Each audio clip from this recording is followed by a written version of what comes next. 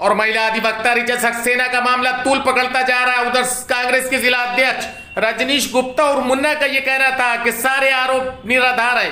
झूठे, कोई लेना देना नहीं, आपको हम आगे सुनवाएँगे। लेकिन उधर अधिवक्ता रिचा सक्सेना का यह कहना है कि जिस समय मेरे वादी के घर पे ये गए थे, उसके सीसीटीवी फुटेज हम आपको दिखाएँगे। क्योंकि उनका ये कहना है कि मेरे साथ घटना सही हुई है, लेकिन कांग्रेस के जिला अध्यक्ष का क्या कहना है कि ऐसा कुछ भी नहीं है। तूल पकड़ता जा रहे हैं महिला भद्रता को लेकर। पहले हम सुनवाते हैं आपको विस्तार से।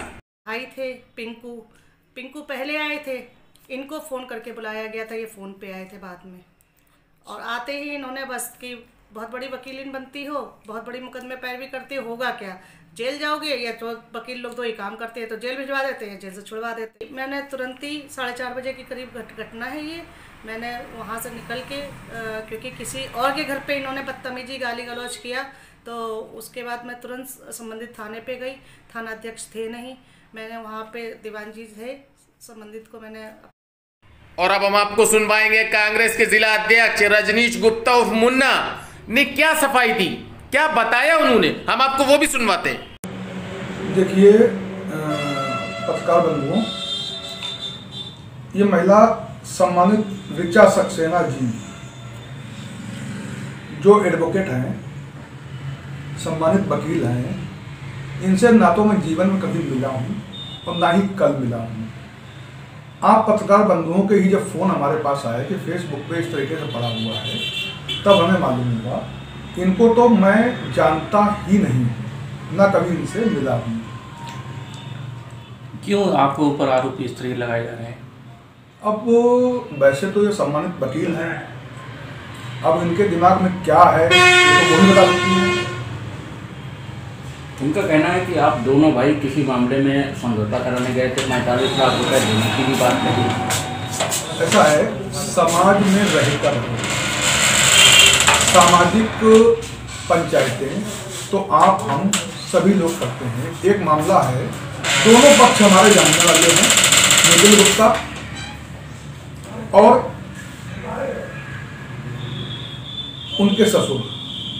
ये विवाह भी हम लोगों ने ही करवाया था। दोनों बच्चों का विवाह हम लोगों ने करवाया था। दोनों से हमारे पारिवारिक संबंध। उनका मतभेद हुआ आपस में।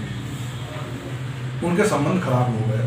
तो हमारा यही प्रयास रहता है कि किसी तरीके से आ, समाज में कहीं अगर लड़का लड़की इस तरीके से कोई आपस में विवाद है तो समझौते के तहत वो सुलझ जाए। तो क्या यही समझौता कल भी हो रहा था? हाँ यही बातचीत हो रही थी। मतलब ये बातचीत हो रही थी निखिल गुप्ता के घर पर। ठीक है कि भाई आपस में इन लोग का समझौता हो जाए लड़का पक्ष लड़की पक्ष दोनों का। पैंतालीस लाख रुपए की भी बात आई थी रुपए की बात कहाँ से आई? पहली बात तो रिचा सक्सेना जो अपने आप को एडवोकेट कहती हैं जिन्होंने वीडियो के माध्यम से आरोप लगाए कि वकील नहीं आई है वो क्या कोई किसी सम्मानित वकील को ऐसी भाषा बोल सकता है? आरोप तो उसमें ये भी लगाए गए हैं कि मारपीट की गई वहाँ पर उस व्यक्ति के साथ में जो जिसकी वो वकील है। और उनके पति के साथ में भी मारपीट की गई। अब भाई वीडियो में तो हमें ये दिखाई पड़ रहा दिखाया गया है और जो एप्लीकेशन दी गई कि हमने उनको जान से मारने की धमकी दी है। अब किस समय क्या कहने लगे इसका कोई उपाय है नहीं हमारे पास।